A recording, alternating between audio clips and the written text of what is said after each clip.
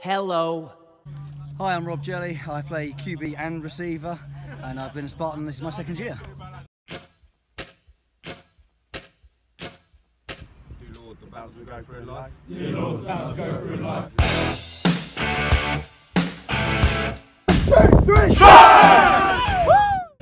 So I currently live uh, in Hornchurch, sort of 20 minutes away from our home ground and such. Born in Romford.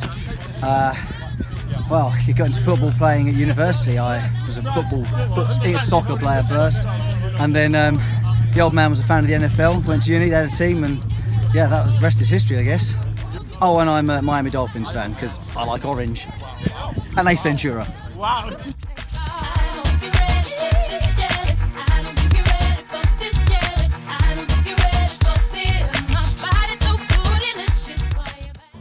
So when I'm not running around with this lot on a Sunday afternoon, I, uh, I present a radio show for BBC.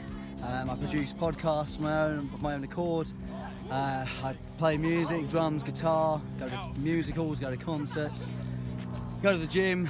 Um, I have a fiance. Uh, she must come higher on the list. She's not actually that low down, obviously. Uh, yeah, actually, do you know what? I'm not sure when I fit sleeping, but it goes in there somewhere.